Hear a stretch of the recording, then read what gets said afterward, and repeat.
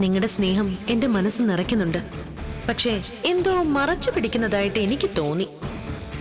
ഒക്കെ ചേച്ചിയുടെ തോന്നല. ചേച്ചിക്ക് ദോഷം വരുന്ന ഒന്നും ഞങ്ങളുടെ ഭാഗത്തുനിന്ന് ഉണ്ടാവില്ലെന്ന് ചേച്ചിക്ക് അറിയില്ലേ? ശ്രാവണി അടുത്ത് തന്നെ തീരും. അതിനു മുമ്പ് സ്വാതി പ്രഗ്നന്റ് ആവണം. ചികിത്സയും പ്രാർത്ഥനയും ഒക്കെ ഇനി അതിനു വേണ്ടി ആവണം.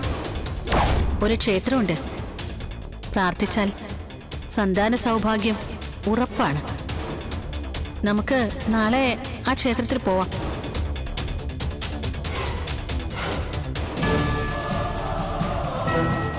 നിങ്ങൾ രണ്ടുപേരും അമ്മയാവാൻ പോകുന്ന വാർത്ത മതി. ശ്രാവണിയുടെ സന്തോഷം തിരികെ കൊണ്ടുവരാൻ. ആ ആഗ്രഹം ബാക്കി വെച്ച് ചേച്ചി പോയാ അത് എന്നത്തേക്കും നമ്മുടെ മനസ്സിനൊരു വേദനയായിരിക്കും.